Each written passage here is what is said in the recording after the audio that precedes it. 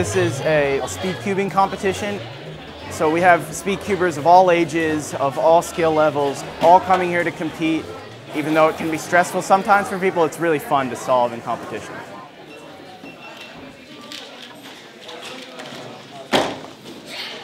I think the Rubik's Cube itself is just very intriguing. It's very interesting. You know, there are over 43 quintillion different ways that a 3x3 cube can be arranged. And I just really, with this competition, wanted to bring more speed cubing opportunities to Texas. Solving the cube, really there's no room for error if you want to hit your best mark in competition. It's always a lot of prep to make sure that the cube is set the right way, that you've got your algorithms down.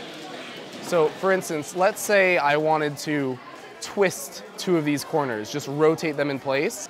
I could perform a sequence of moves, an algorithm, that will do exactly that.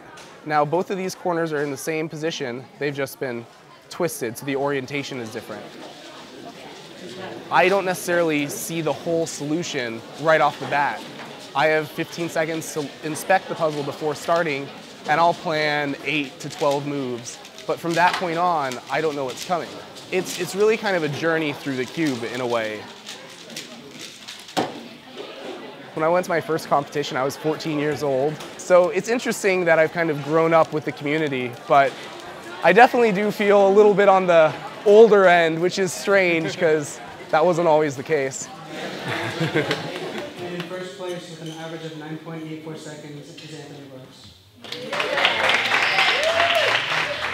What I love, anyone can do the Rubik's Cube. That's what's great about speed cubing is uh, you don't need to have natural talent. Everyone just works very hard at it and they see results.